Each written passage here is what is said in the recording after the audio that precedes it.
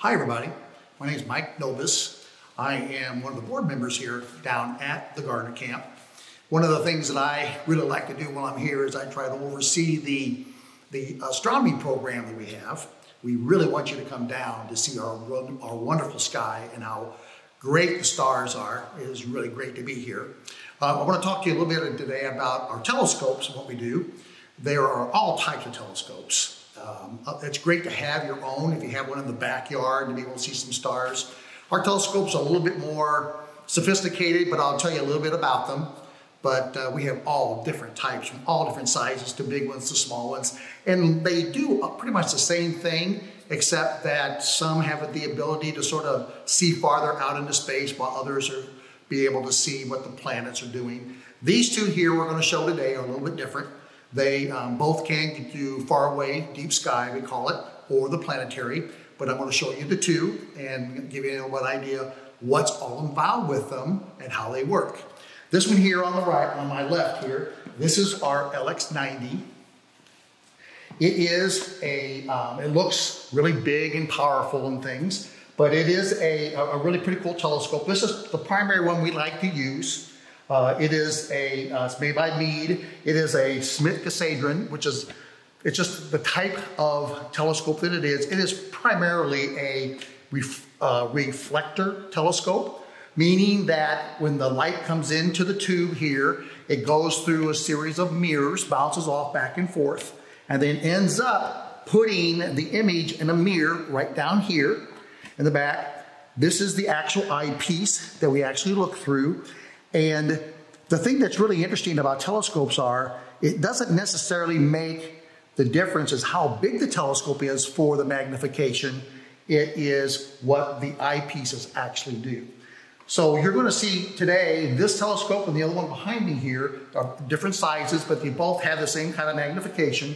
The bigger the tube, the more light we can actually gather into the, into the telescope to actually put the image down on the mirror so that this eyepiece then, almost like a magnifying glass or a microscope in a way, actually can see the, the piece.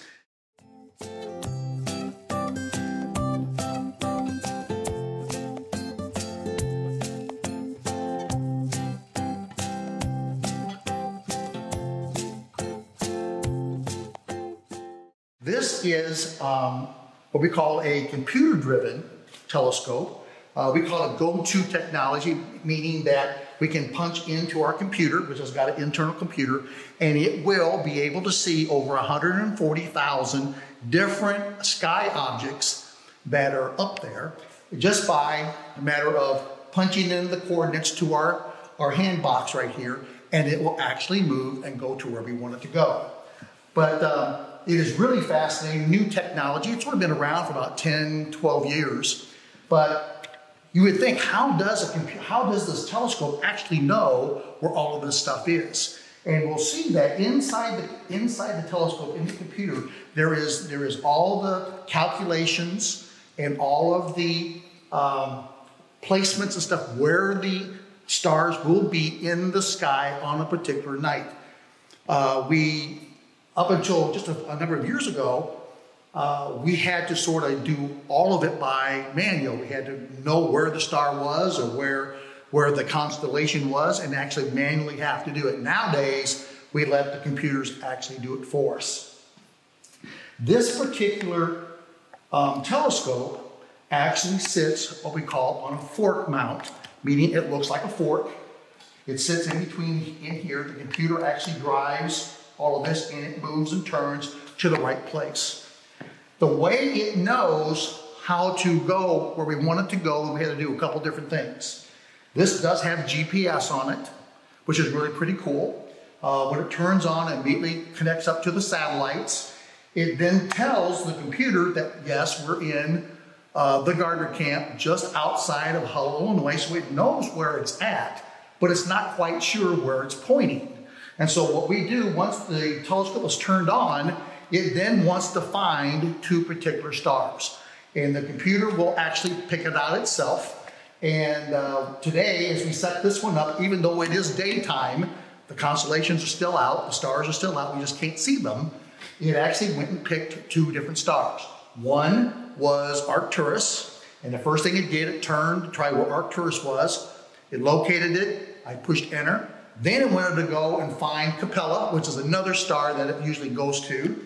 Once it found that, then it was said, we're ready to go.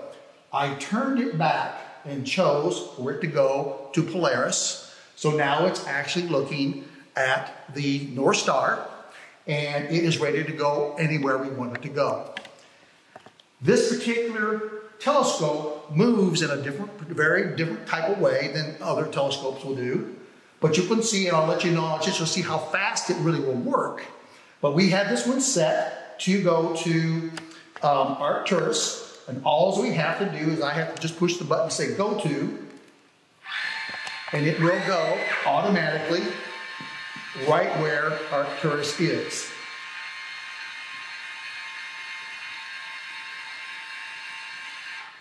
Pretty fast.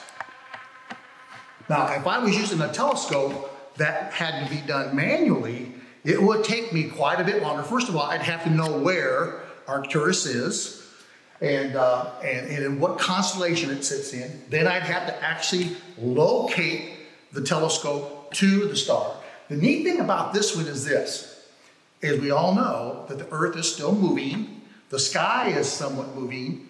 If we're using a manual telescope, within a matter of a few seconds, you'll see the star actually move off out of the field of view. This, because it is all computerized, it is now constantly tracking the star. I never have to go and try to uh, relocate it again. It's always following it. So no matter if I'm out here for two hours and we're studying or we're, we're in our star parties and we're looking at it, it will always have this star in the middle of the viewfinder unless I change to go someplace else. Um, but that is, this is what a, a, uh, a Cassegrain or a uh, reflector telescope looks like. And there's all different sizes, as I said, and you might have one that you might you can even use in your backyard. It works exactly the same. Most of the time, most people who are amateurs at this usually have to do it manually. We get to do it by computer.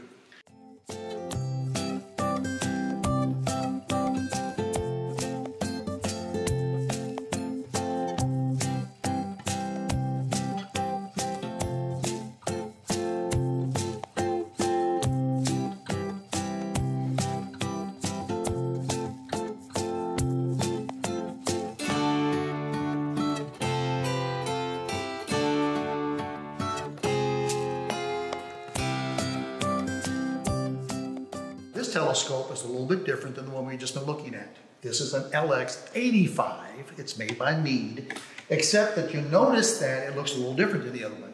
This one here is longer. This one is what we call a refractor. In, in that this one does not have mirrors in it. This is actually has a set of lenses as it is not as, it's not as big in the tube. Uh, so its ability to collect light is going to be a fraction less than the other one, but this one has a tendency to be a little bit more accurate only because it's all lenses. There's no bouncing around, no reflecting back and forth. And it works off of a different type of mount. Notice this is not a fork mount, but this is what we call a German equatorial mount.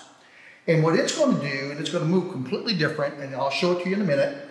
We'll look at Arcturus also. It'll go the exact same star the other one did except you're going to notice that it's going to move, it's got all these other little different parts to it. And um, one of the things this does not have that this one does have, this one does not have GPS. And so, but we don't need GPS with this one. It does have its own computer. It's the same thing as the other. There's a, in the, in the hand box and in the computer, we have 140,000 different objects that can go find, except that it's just going to do it a little bit different. Here's what we do to set this up a little bit differently. Actually, in the base of the telescope, there is another scope. And this scope is going to be, to make this thing set up right, is this will actually look at Polaris. And we actually set this so that this is perfectly got Polaris in the middle of the mount. Once that's set, then we know it's absolutely set toward Polaris. Then it will go and again locate two stars. Then it knows exactly where it's pointing. It knows exactly where it's located because of its position to Polaris, and then uh, it knows all the all the settings, and then it will work exactly the same way. On this one here particularly, what we do with this one a lot of times is we instead of just looking at the stars, we have the, we have the ability also to digitally take pictures of our stars and our deep sky objects. And so what I put in here, instead of a lens that we would look through, this is actually a um, color digital camera that actually takes the pictures for us so that they then this cord then connects onto our, our computers and we can actually take pictures of it and put them on Facebook, look at them, blow them up, how we want to do. But um, we do a, a, lot with this kind of thing. And here at the Gardner Camp, we want to try to teach both how to look and observe, but also then to be a little bit more advanced in how to work with computers. I'll let you see how this operates. and works a little bit different than this one here, but they both get to the exact same star at the same time. So notice how this goes. So it does have the ability to turn on what we call its um, declination, and it will also turn on the right. Um, it'll turn on the declination right now, and then it's going to turn on its right ascension. Hmm. Notice it didn't have to work very fast. Notice here, though, this one here has a weight on it. And the reason for that is because it has to be balanced because this thing will contort and go in all different types of directions. So all of this has to be balanced out so it doesn't fall over. Where on a fork mount, as the LX90 had, we didn't have to do that. But all these will capture uh, the same stars and the same images and all the same planets, except that they're used for different things. But uh, we want you to come down to the, the Gardner camp so you can get to see uh, what they look like. I know you've seen in your books what you know what Saturn and Jupiter and all those look like. It's more exciting to actually really see them. So we want you to come down and see us and spend some time looking through our telescopes.